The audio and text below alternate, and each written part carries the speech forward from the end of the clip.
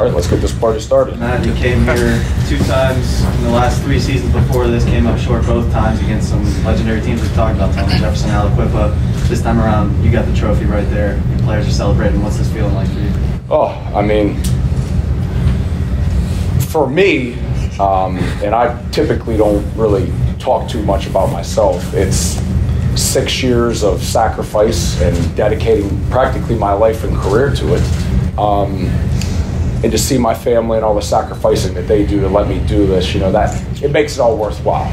Um, and so, you know, for, for, for me, it just, it, it validates all the time and energy away from my family that I have. And that's, that's what I think of when, what this victory means for, for, for myself. Um, for the program, you know, it is not only these guys finishing the job um, when it comes to WPIAL Championship, but the way that they conducted the business this year of just the even killed methodicalness, um, it's one for really the kids that have came through over the past six years. I mean, you know, it, it's what I'm so impressed with what these kids did this year was there wasn't any selfish attitude or demeanor at all when it came to trying to get that trophy.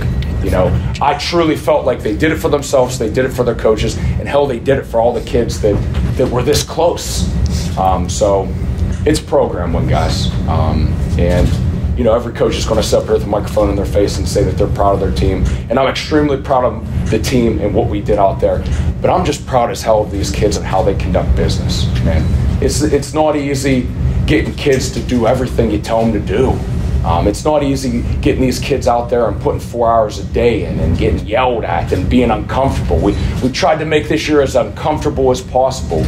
Um, and, and it just says a lot to these kids because they just bought it. They didn't say a word. They shut their mouth and they just kept coming back for more. So, um, as every coach would with a microphone in their face, I'm, I'm, extremely proud of them, but I'm proud of the way that they did it more than anything.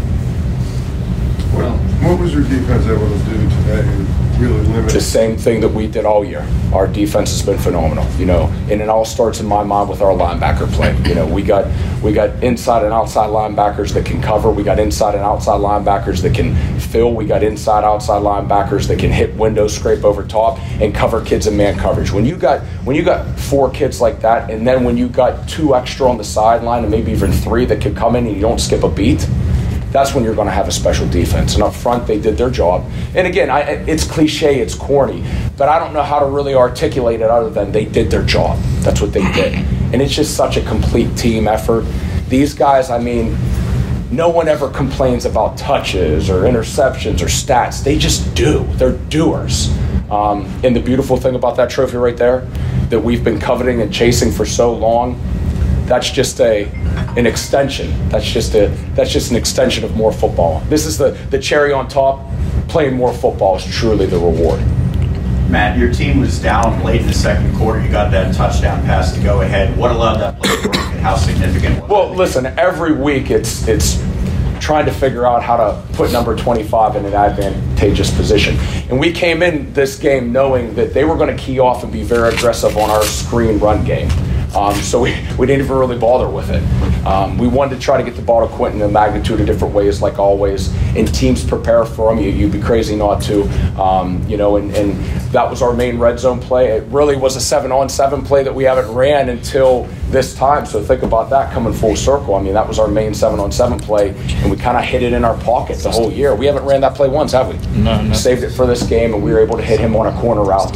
Um, you know, to, to give us that score. So, um, you know, that worked out for us. We were, we were fortunate. Now, can we talk real quick about, you mentioned Quinton Martin, you know, you want to get him the ball, and a punt return is one way to do it when they finally kick it to him. Have you ever seen a return quite like the 51 yarder that he took all the way across the field for a game changing touchdown? I would say yes, the one against Thomas Jefferson, but no, that was pretty phenomenal out there. So, um, you know, not to inflate his head too much, I will say this. After we watched that on the iPad, it was phenomenal blocking. That was a team punt return.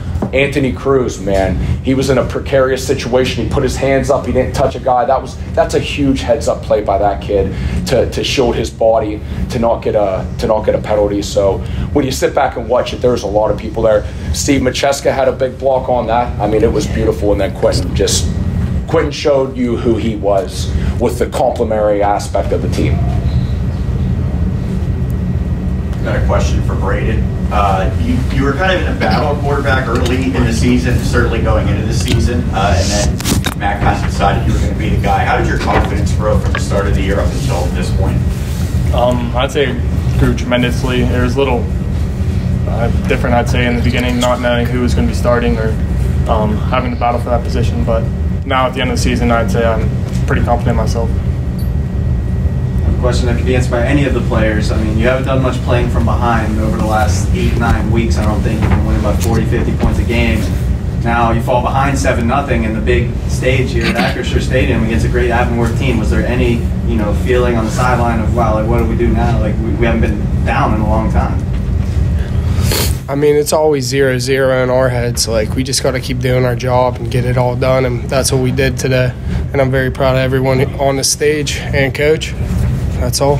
And listen, we knew that it wasn't going to be a, hey, let's get up 21 nothing like it's been over the past five, six weeks. And I, I think I did a good job of articulating that to these kids this week. It was going to be a fourth quarter game. Um, so, you know, it's not like you practice anything special with it. You just pound it into their heads that it's going to be a slugfest. And we just had to keep on hitting and hitting and hitting. And, and, and the goal was to wear them down a little bit because we knew they're a physical team. They're a big team. They're, that's a good ball club that we went up against. Um, and the kids embraced that uncomfortable mentality this week. I, you know, this was a game that, to be honest with you, if we didn't win, it would have been devastating. I mean, we probably put 35 hours into preparation this week. I mean, we were, you know, we were at that school. Uh, I mean, more than our houses in, in some retrospect. And and again, that's a credit to these guys. I was not a very nice individual this whole week, okay? But th- they just take it and they go with it. They don't question it. They don't they don't bat an eyelash at it. They just take it because they understand the process. And again, that's what I'm proud of. I'm proud of them for being able to in this society. You know, it, it, we everyone's feelings get hurt so much. These kids been in uncomfortable situations, uncomfortable coaching all year, and the way they handled it, it's worth it because they got a trophy in front of them. And, and Quinton, uh, question for you. What you see on that uh, 51-yard punt return? Uh, you know, you made a, a really uh, incredible cut on that uh, touchdown. Uh, I saw that the left sideline it was clear. You know, I got as close as I can, and I kept my feet in balance. And I knew they thought I was going out of balance, but I did everything I can to stay in. And then I cut back because I saw the momentum coming towards me, and then I saw nothing but green. Quinn, is that one of those things that everything kind of, especially for a player like you, everything just kind of slows down in the moment there as you're running past through everybody on the field? Yeah, basically. You know, it's just you just do you. You don't think, you just go. What was going through your mind that when you realized after watching him kick it out of bounds every time before then that the ball was actually coming your way and you might have a chance to? Uh, I was like, I'm taking it back. I was very excited to get that punt. And listen, that, he doesn't get many punts. I mean, and I'm not saying because teams kick away. I mean, if we felt comfortable at any given time in, in any opponent, we don't allow him to, to return the ball because we want the offense to take it and, and, and obviously amount some drives because, um, you know, a lot of times, you know, if he's going to touch it, you're, you know, it's 50 50. It's going to be a very positive. Um, a very positive, uh, advantageous field positioning for us. So, I mean, ironically, is he he hasn't caught many punts this year. So, mm-hmm. for him to do that, um, you know, and be able to have that return, like I said, that's key. And we needed that. We needed we needed something out of our specials. And how about my kicker? You know, my kicker was great today, um, and he's a kid that you know, I don't want to say that it's been up and down with him all season, but I mean, you're not gonna, he's not gonna wow you with any stat lines. And then you come into the the WPIAL championship, and that's a pressure moment. And for him to be able to perform like that, he did a great job. Mm-hmm. And you know, think of this too. Think of these kids and the pressure. You know, this season's been up. Oh, you're going to win it. You're going to win the WPIAL. You're going to win the WPIAL. That's a lot of pressure for these kids to have to constantly battle day in and day out. And again, they just slow heartbeat, went to work, didn't bat an eyelash, and they did a great job for that. This is a question for all the players. So whenever you have a, you know, like Quinton did that really explosive punt return.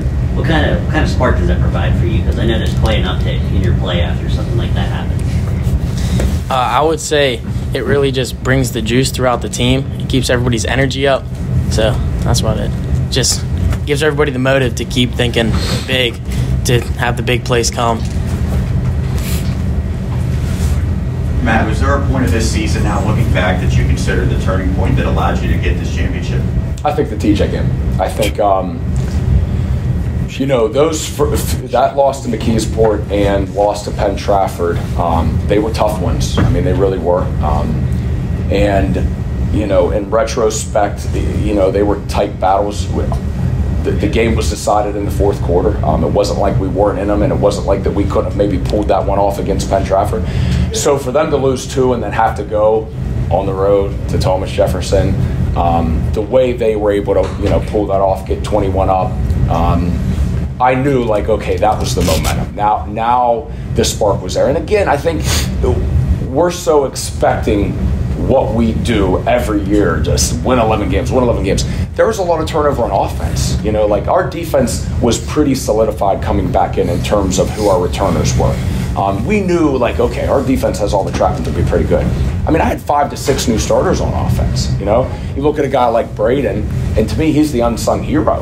I mean, he's the guy that distributes the ball. He, he's the guy that gets dirty and runs the ball a little bit. He's the guy that you know puts the ball where it needs to be. Um, and, and you look at him, he split all those reps all summer, the scrimmages. It was going to take a little bit of time for him to get acclimated and playing McKeesport right off the bat and Penn Trafford, you know, that's not the games that typically you can acclimate yourself to, but he did a hell of a job. He battled. And you know what?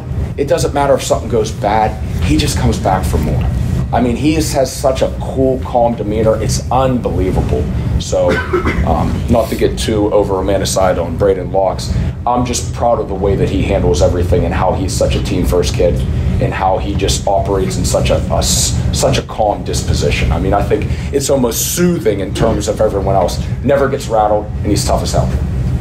And do you think you've ever had a game with a, or in high school at least, or any that you can remember with a rushing touchdown, a receiving touchdown, and a punt return touchdown? And if you're going to do it, it's, I guess it's the best place to do it. Huh? Uh, no, I'm pretty sure this is my first one with all three, so yeah.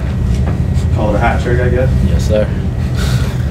Matt, what was the key to you guys uh, playing defensively tonight, and especially after Avonworth scored on their, uh, their opening possession or second, their, their touchdown drive? Yeah, I mean, listen, they're tough to defend. I mean, you know, I think the key for us is we just wanted aggressive linebacker play. We needed to be able to hit windows, scrape over top. We really wanted to try to, to get our linebackers meeting those backs at the line of scrimmage because we knew if we could kind of stop them from getting started, that would be the key.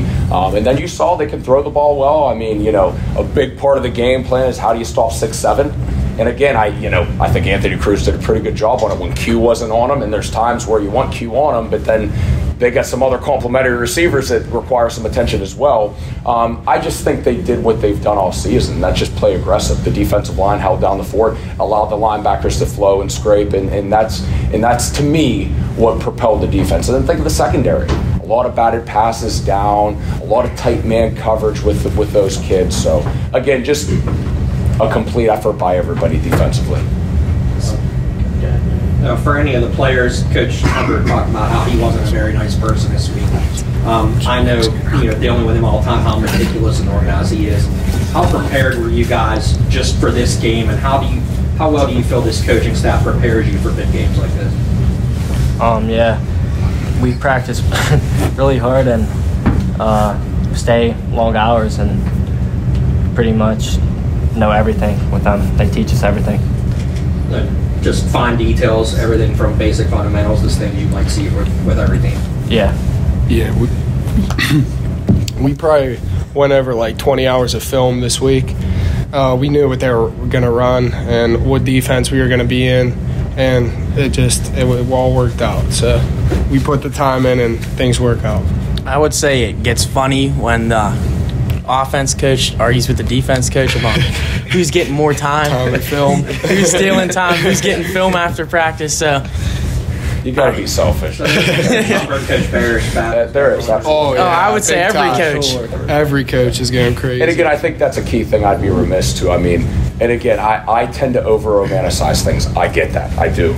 But my, my staff, to me, and, and again, I don't have anybody to compare them to. I think they're one of the best in the state. And I hate saying in the state, like, like I said, there's no measuring stick for that. But I just can't imagine a group of guys that are so knit tight together. No one's looking to be the next whatever. No one's looking to take a job somewhere else. You know, everybody just wants to win, and everybody just wants to do their part. And there's a lot of guys on my staff that don't get paid. You know, there's we have a lot of coaches, and we don't get a lot of paychecks. Um, so think about that and how the time and energy that they sacrifice, and you know, it's for the love of the game. It's for the kids. It's for that trophy. So you know, just super proud of my coaches. Um, you know, they've they've they've just done a great job. Um, you know, and I'm and I'm happy for someone, especially like Coach Barish, right? A Belle Vernon guy, born and raised. You know, living there, lived through the bad times, coached in the bad times. Hard to go get a gallon of milk at the superstore because everybody's an armchair quarterback. You know, um, so for him to finally get one, it's it's well deserved for him as well for any of the players, but you know, we talk about that four-game gauntlet to start the season. You know, LH, Penn Trafford, McKeesport, Thomas Jefferson. How did that kind of prepare you guys for this moment, and even for you know the state playoffs and, and making a, a, run for the state championship here? Well, you had to battle adversity at first, and there were some tough teams, but once you get that spark against Thomas Jefferson, I think it's just a roll from there you guys even learn through the, the defeats too? Oh, you know, close games against two good teams in the key sport. Yeah, I think we did. We definitely did not play our game off, especially our offensive line against McKeesport. And I mean, that TJ game really brought us as a team all together for that win, and it's just been up since. But there's a lot, of, a lot of, a lot of situations when you go down to like that, teams could mm. implode. People could get negative. I think maybe some people on the outside maybe imploded a little bit. I think there's some people in maybe you know in the in the yep. in the in the area code that maybe were losing their mind with it. But I, again, that that's what makes this team who they are. Like I never came to practice one day wondering whether their mental disposition was losing two games. You know, I mean, and again, like I said, that's that's just who they are. Um, and again, the pressure. You know, they, they were anointed the WPIAL championship um, you know, almost a year ago when, when all this stuff came down. And whatnot. again, that's not an easy thing to pressure to constantly go through, um, and then to lose too early on. You know, those four games I think truly just made us better, yep. and that's why we wanted those four games. And I'll gladly I'll gladly lose one or two at the beginning if that means that we get to hoist that trophy at the end. Yes, sir. Steve, you're nodding your head a little bit when he talks about that pressure. Talk about it from your guys' perspective you know, when the realignment came out, everybody, like you said, they anointed you that you were oh. going to be here. How, how is that for you guys, you know, in your own words? Um, I mean, it's crazy because, like, we were all, like, everyone wanted to stay in 4A, and, and like, we, uh, like, we didn't have enough kids, so we, we went down and we just, we were winning every game now. I don't know what to say. I don't know if that's a proper. yeah, I'm sorry. I'm sorry, guys. I, it, it, listen, it's as simple as this. There's there's a lot of a lot of people that uh, wanted to cast stones, and a lot of people that wanted to take shots at me for it. Um, for some people, people are ignorant and don't understand how classifications work. We didn't go down. We played the number the state of Pennsylvania gave us. We didn't choose to play up. And um, you know, I got 39 kids on my team. I'm not saying that's a reason, but I mean, like, yeah, yeah, the point being is this: people can say whatever they want about me or, or, or, deciding not to play up. But at the end of the day, these kids are champions. And that's never going to be taken away from them. And no. they did it the right way. Like, if there's a book or a recipe of how to do it, I'm pretty sure these kids could be poster childs for it because they did it. So, um, again, just proud of them. And I truly feel like a little bit of their spark is for the kids that came through. You know, when we think of this victory, I think of God, I think of kids clear back to Nick Schweitzer, um, Riley Wyant, um, Logan Hoffman, Ben Cole, you know, um, Luke Durgan, um, you know, Hayden Barrett, and Anthony Rebar. There's a thousand guys I'm not naming that I should that are just popping. This is, to me, it's as much as it's for them, it's for those kids who did everything the right way, and we just couldn't finish. We just couldn't get across that that finish line. Um, so a part of this is is redemption. I hope for those guys too. Coach, real quick, going back to Braden, you mentioned uh, what he brought offensively, uh, but defensively as well. You know, in the trenches, you know, you see a lot of quarterbacks playing defensive back or wherever it may be, but I think he brought a lot defensively as well. I mean, he's definitely not fast enough to be a defensive back. Um, but again, what can you say about the kid? I mean, he has all the measurables. He's a big kid. He's a tough kid. You know, I, again. Um, I'd like to think my guys are tough, and I think the quarterback playing five techniques kind of an example of that. Right? He's a savage. Q, you spoke two weeks ago after the, I'm sorry. Thanks, go ahead. Um, well, it's a little different going from quarterback to defensive end, having to put the gloves on and get physical with kids, especially after running hard on offense. And you get a little tired, but you just got to push through. It's not easy pulling a ball, getting hit, and then be like, okay, go, okay, now go, reach, you know, defend the reach, you know, squeeze and take on that guard. So, again, it just shows his toughness. You uh, mentioned two weeks ago after the quarterfinal win how important it was for this group of seniors to get a championship. How important it was to you. Talk a little bit what they mean to you and what this means to you in terms of getting Uh, walk time. this group of seniors, you know, ever since I was a freshman, they always been by my side, always been there for me, and always helped me with everything. Ever since I was younger, and they, I was a freshman, they were sophomores, and this means a lot to me because we put blood, sweat, and tears into this every day for what three, four hours straight. So you know, it, it means a lot, and we're competitors. We want to win, and that's what we did. you know, it's good to see some of those kids. I mean, you know, I think of a kid like Dom Sasko who, you know, goes out there, has a hell of a game tonight, was great all season.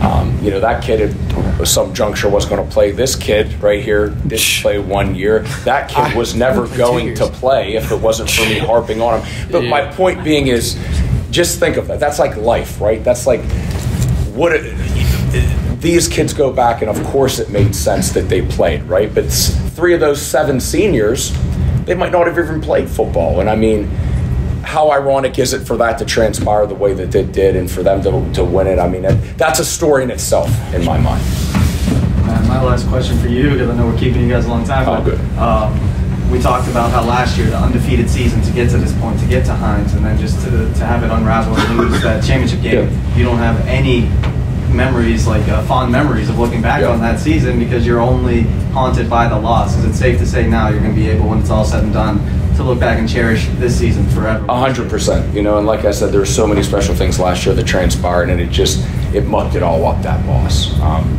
last year we hit, we we hit the ground running so fast, and we were so good, and then injuries here and injuries there, and then I mean we limped in the Heinz. This year was different. You know, we were practically healthy for the most part getting down here.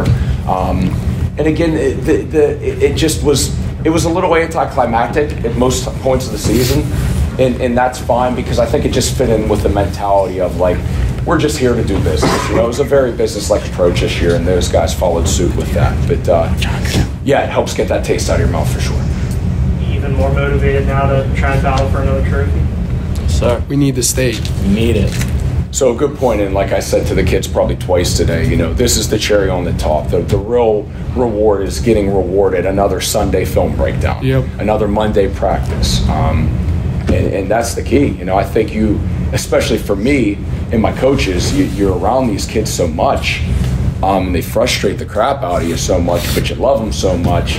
And it's hard to imagine a routine where you're not coming back on a Sunday and you're not coming back on a Monday. So to me, that's great. It'll go in the trophy case finally, right? But the real reward is getting able to play more and, and, and you know, getting able to compete for um, a state championship.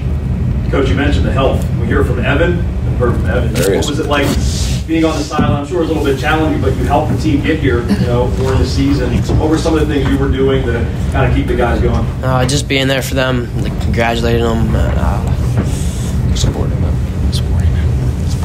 Supporting. supporting with them, and uh, just making making sure I'm there with them every step of the way. I was trying to throw you some freebies. Flying around on the scooter, giving And the good thing is, you know, again, I think of it like we're rewarded another week. I mean, he he's pretty close to coming back, so that's you know, that that's obviously a good thing as well. Um, so.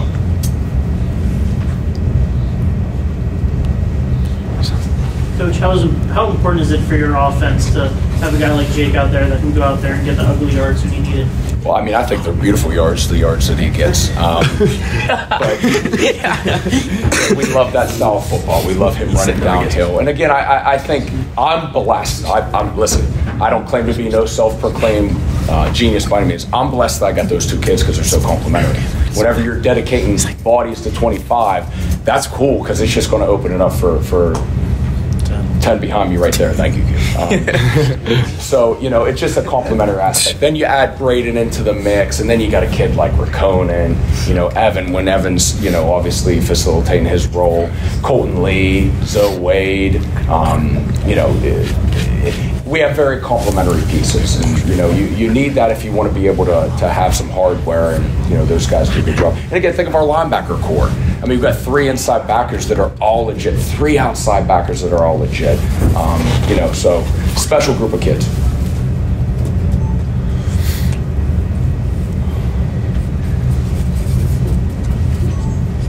We good? Is that it? Any other questions? Shout out Coach All right, Zach. thank you. Shout out Jeff Ogrodowski. Shout out Coach Zackel. My leg. Thanks, guys.